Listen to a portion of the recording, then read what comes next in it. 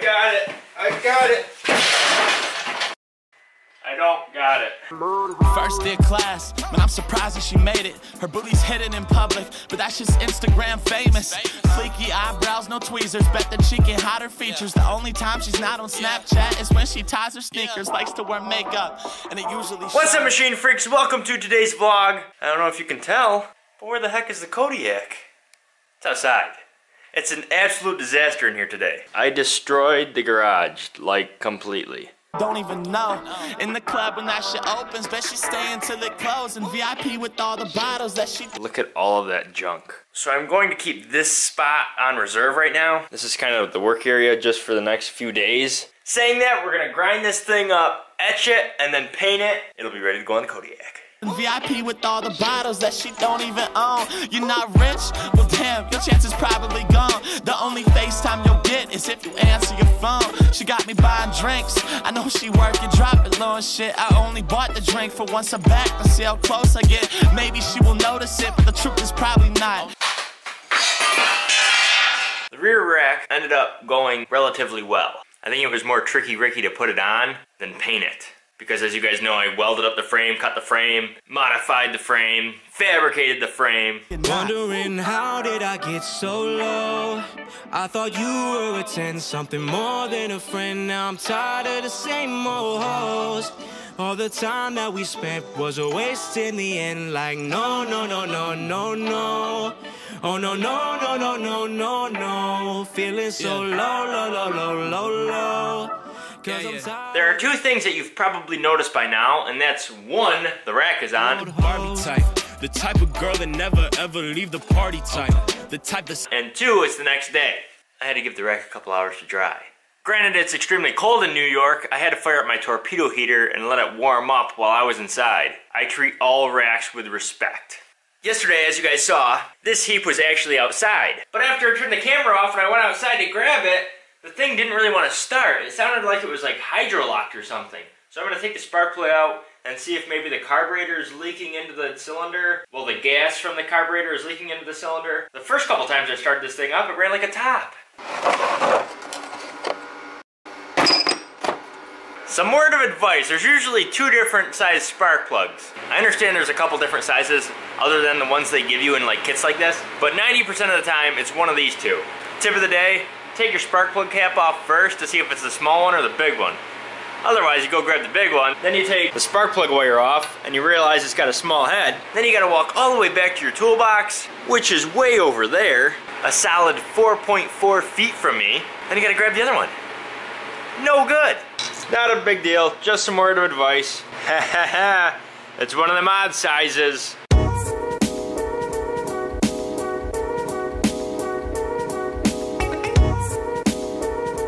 Upon further investigation, I checked the oil level. The oil level is good. I found a bad ground though. That had really nothing to do with anything. Well, it did, just not with the starting. Check the coolant level, that's good. Nothing came out of the cylinder. And that's really good because I didn't want to do carburetor work. The kid had paperwork on this thing, and he just got done replacing the carburetor, which is right here, and I think he paid like 500 or $400 for that. So I cleaned up the spark plug. Now I'm getting ready to start this thing up. But before I go ahead and start this machine up, I'm gonna open up my overhead door because I'm gonna try to get out of here as quick as possible because something tells me that it's gonna smoke a lot. What's telling me that? Well, the fact that it did it last night. Using my noggin.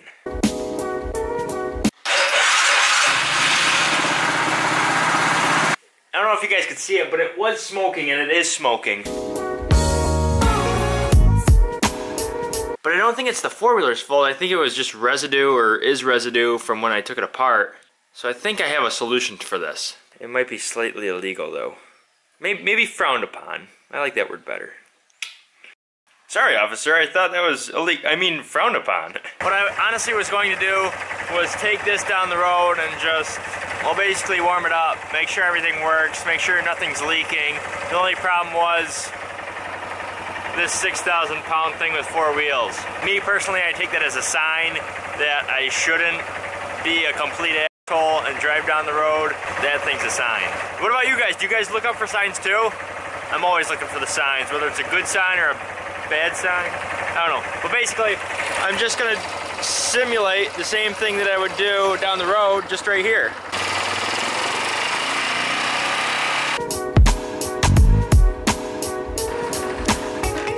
Only problem I have found so far was a small exhaust leak. And then I did find one other leak. I don't know if it's a coolant leak or if it's an oil leak. Right where this coolant line comes in. I don't know if you can see that, but right above the spark plug hole, it's wet right there. It's cleaning up like coolant. What I mean by that is oil would still leave like a residue because it's thick. And the characteristics of oil, it just always has a trace left over. No matter how clean you think you make something, there's always oil residue. If you can see in there, it's way drier. And I'm looking at this and it's slightly green, which is the color of the coolant.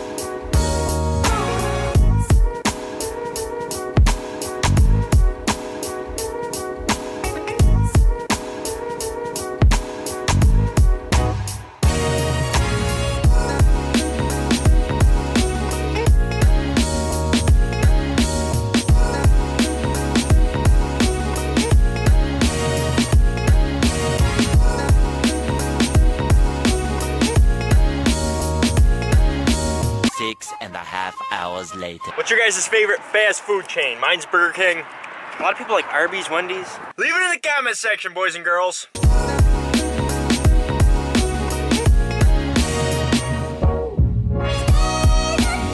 I'm having an oh crap moment. Now I know everybody's been in this predicament before, but mine just happens to be on a Craigslist run. Or if you could use Facebook, I don't know. Punched in, well, the city that this guy lives at, and it said that it was like an hour and 10 minutes away. I then left my house trying to get to Harbor Freight before they closed, and I was about 30 minutes in the trip, maybe, maybe even 40. And then it still said it would take an hour. I'm like, holy smokes, is this really gonna be worth it? Guess we'll find out.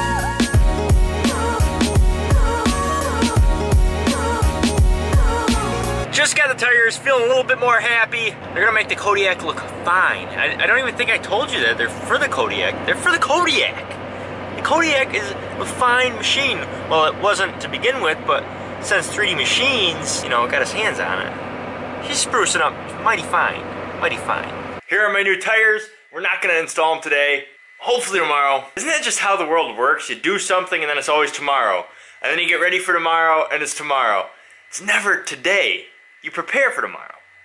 But here they are. I got them at an incredible deal. I'm impressed with them. They have a lot of tread left. So I think the run was worth it. He did give me the water for free, which is really nice of him. This four-wheeler should do extremely well in the mud after I get these things on.